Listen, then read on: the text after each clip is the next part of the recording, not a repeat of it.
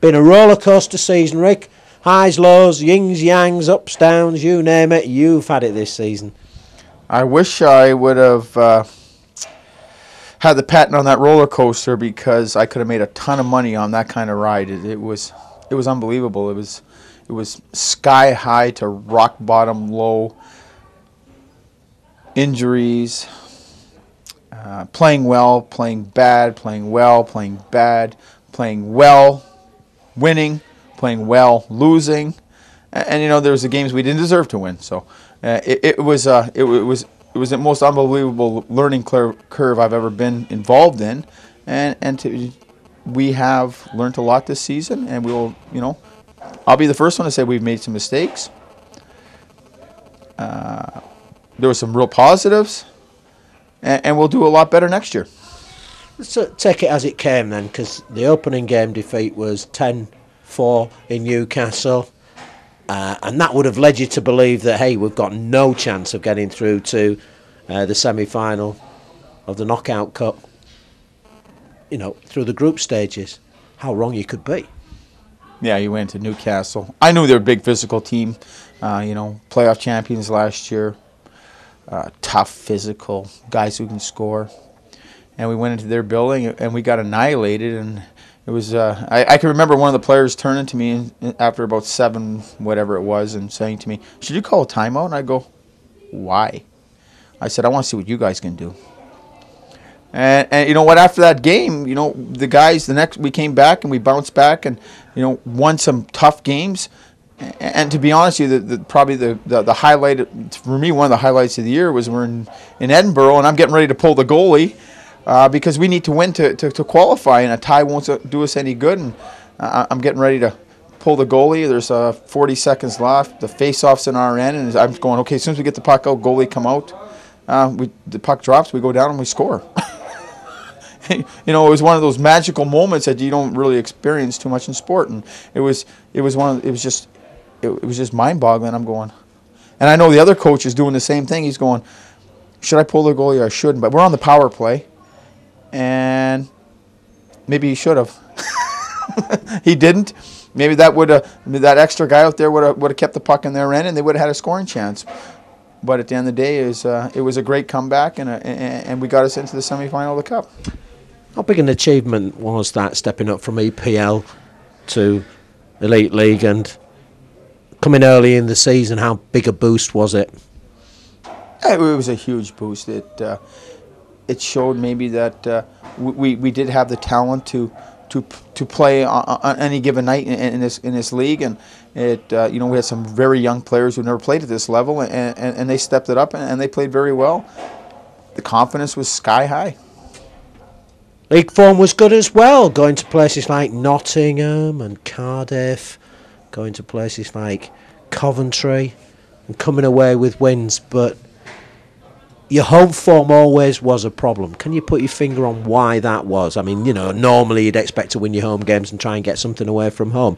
Why was it so different for your team? Why was it so different this time around to what you would have expected? Early in the season, it was teams really didn't know what to, to expect from us. Uh, they tried to open up open up against us on the road, and we played very good team defense, and, and, and we won games on, on sheer defense and, and great goaltending and, and, and, and the good power play. Uh, I'm thinking here. I know what I want to say. And there was no expectations on the road. A very young team. And playing on the road was was easy for them because sometimes there's a lot of pressure playing at home, and, and they didn't feel any pressure on the road, and they played really relaxed, and they didn't make many mistakes, and they didn't force, and they didn't overcommit. They played the system, and we were very successful. On the other hand, we come home, and we we couldn't stick to the game plan for 60 minutes, and we'd break down, and the breakdowns would be because we were too aggressive, and we made bad decisions. Decisions we didn't make it on the road, but we made it home because uh, I can tell you right now, guys were trying to impress, you know, their mothers and their fathers and their girlfriends, and you know, we we, we, we made too many mistakes, and and also, teams played different on the road. They played a very defensive game, and we tried to open up against them. And, and the things we were doing to teams on the road, they were doing to us at home, and we, we just couldn't learn from it. Injuries played a key part, and I suppose uh, the injury to Kevin Young is one that you look back and think, had we had him, maybe, maybe things might have been a tad different.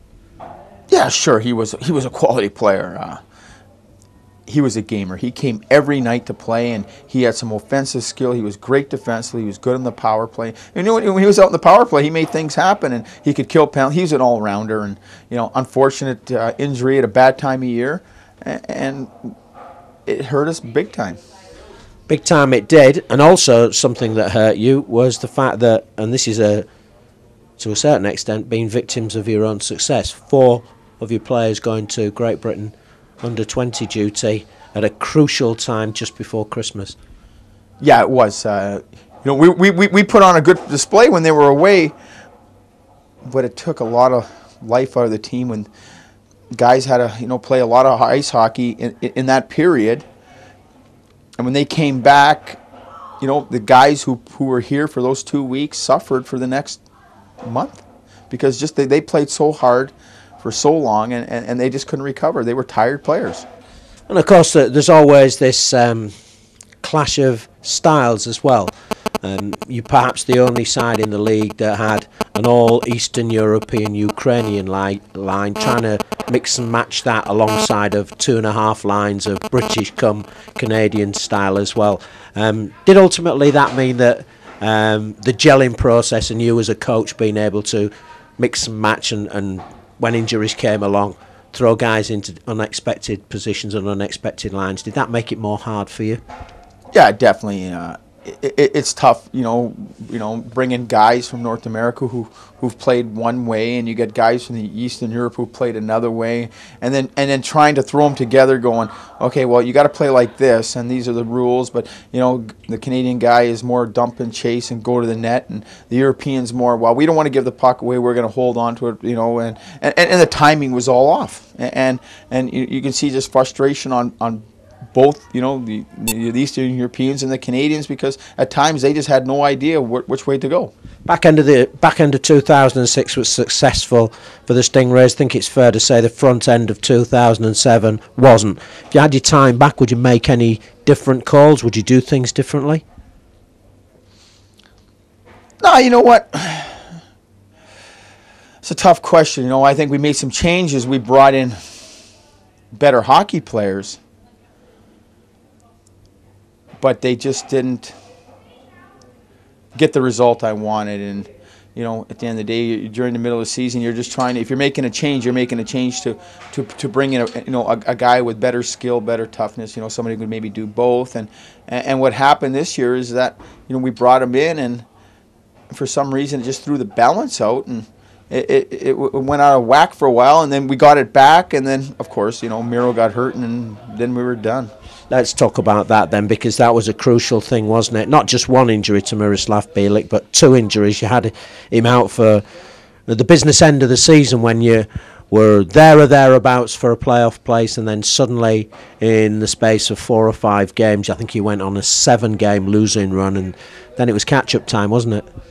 Yeah, you know, we went through a bad patch. Uh, you know, and then and then and then and then we won. Uh, Miro got hurt, and, and, it made it even tougher. Then Miro came back, and, and we you know what? We I think we won four out of six, and we put ourselves right back in the battle for the playoffs. Uh, you know, Miro got hurt again, and we never won. We, we haven't won. A, we didn't win a game since. You know, so you know, you know, it's it's it's it's goaltending is a is a tough position. Uh, poor Tom got thrown right into the deep end. He got demoralized. He lost his confidence. You know, when the goalie loses his confidence, so does the team. And you know, we just struggled